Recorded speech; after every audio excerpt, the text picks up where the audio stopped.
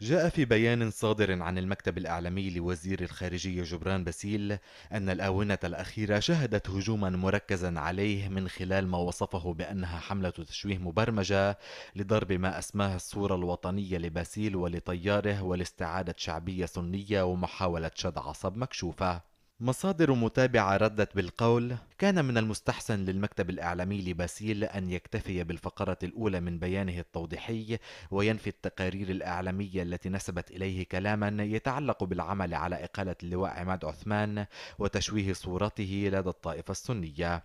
غير أن الفقرة الأخيرة من البيان تضمنت استنتاجات غير بريئة وغير مستحبة عن السعي لاستعادة شعبية سنية ومحاولة شد عصب مكشوفة وهي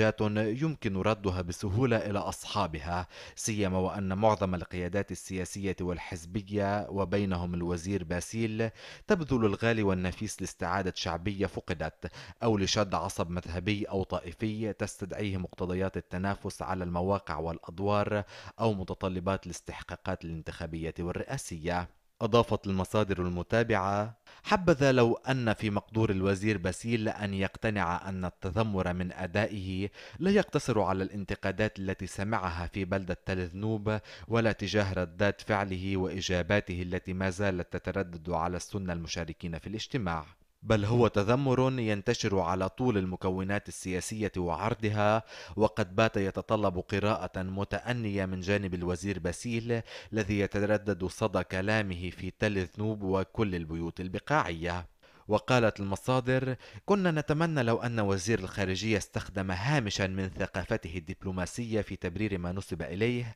وسيما وأن المجالس لم تكن بالأمانات. إنما بالصراحة التي تقتضيها جلسة المصارحة التي شاركت فيها مجموعة فعاليات ومثقفين نعتقد أنهم يمتلكون قدرا كبيرا من المصداقية. وختمت المصادر المتابعة الجديد الذي نصب إلى الوزير باسيل أشد مضاضة على النفوس من التقارير الأولى ويبدو أن موقع التل ذنوب كانت مليئة بالذنوب.